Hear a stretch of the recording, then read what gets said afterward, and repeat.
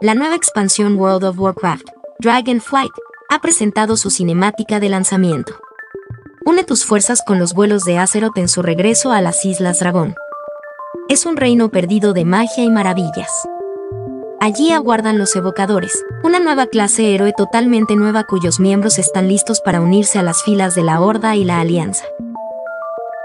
La segunda fase del parche preliminar da a los jugadores la oportunidad de probar al nuevo evocador y la posibilidad de subir de nivel en el confín olvidado. La segunda fase del parche preliminar también trae un nuevo evento, la Tempestad Desatada. El 28 de noviembre se abre el camino a las Islas Dragón, el hogar ancestral de los vuelos. La compañía nos habla de Tempestad Desatada. Será una nueva era de aventuras, los primalistas han obligado a los elementos a atacar por todo Azeroth. Sofoca su ira y aventúrate una vez más en Uldaman para recuperar los recuerdos perdidos de Tyr. Te toca impedir que los elementos se rebelen por los reinos del Este y Kalindor, y adentrarte en la mazmorra Uldaman para recuperar una antigua reliquia titánica.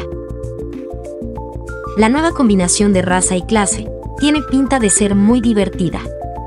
Apostando por el daño o la curación de masas, con muchos sortilegios que casan perfectamente con una raza dracónica, y que los nuevos árboles de talentos y su división entre talentos de clase y especialización nos van a dar mucha variedad.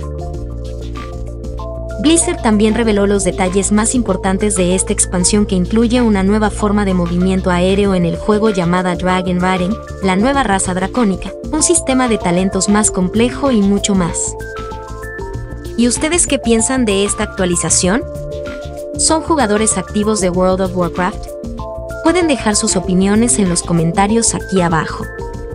Si han disfrutado del contenido, les agradecería que le den like al video y se suscriban, será de mucha ayuda para el canal. Los espero en un próximo video. Chao.